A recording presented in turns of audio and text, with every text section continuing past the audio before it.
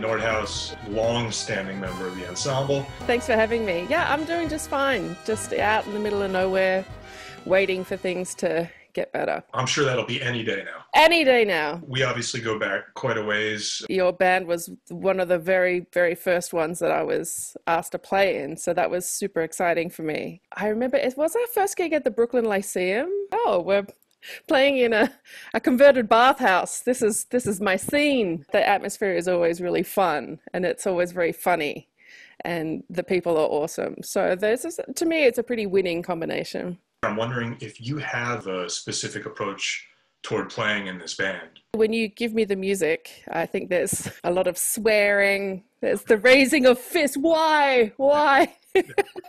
in terms of playing what's actually on the page, that's one aspect that has its own life. And then the other part, which is like really unique, is the fact that you will just give me space that just says like play or just go. And I, I don't get to do that anywhere else, and I never have. There's such freedom in that and such trust, and I appreciate that. I like to sort of contrast with what I know is coming. I don't know why I would write anything specific in those moments if if you're just going to play like that. Like, no to be writing because it is different every time and it's still so uniquely you every time. I can never remember what I did last time, so I wonder what's going through her head right now. Probably thinking what's for lunch. There's been a couple gigs where, where I've, I've wondered what's going through your head and that wasn't my fault.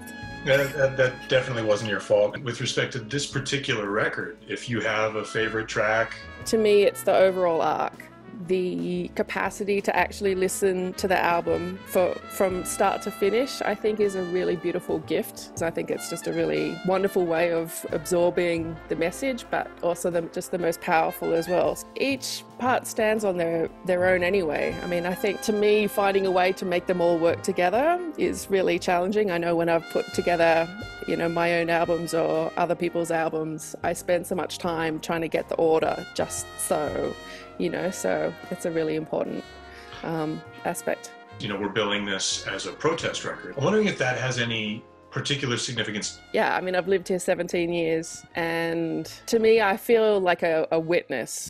I mean, especially lately, it's just sort of mind boggling. It is absolutely protest music and more timely than ever. The first time that I experienced the I Can See My Country from Here, mm. I couldn't make the gig or the rehearsals, but I, I actually was in the audience and that was really interesting to be on the other side of that. I mean, there's so much in it. There's like the, you know, like the power and the and the anger, you know, but there's also the beauty in it as well. So I just think it very much encapsulates all the all the elements that are going on right now. It just sucks so hard that like you could be here for almost two decades and still feel like you're on the outside of it. To be an expat is really it, it's sort of almost being a witness in both countries. I've always had a, a hatred for politics because it's just so awful. But it sort of gets to the point that you can't sort of stick your head in the sand about it. I need to uh, have the energy to try and uplift others. The only thing I can do is really share some Facebook posts and donate money and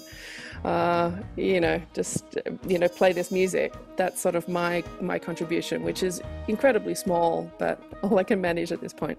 Is the band that you have now what you had in mind, or is has this been sort of a bit of a surprise? From the second I was serious about music, I knew I was a large ensemble composer in what we'll call the jazz vocabulary.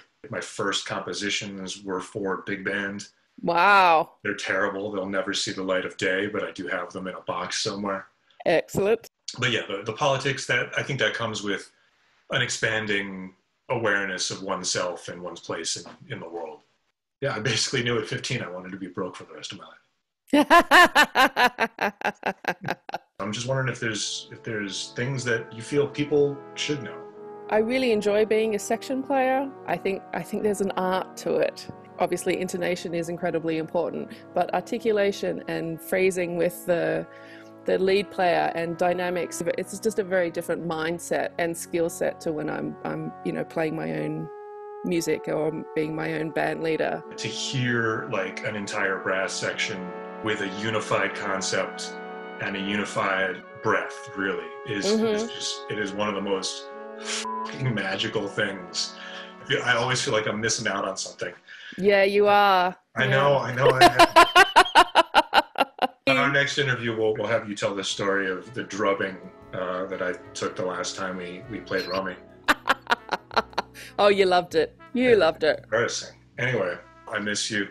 I miss and, you uh, too. We will do this again soon, hopefully. Yes. Excellent.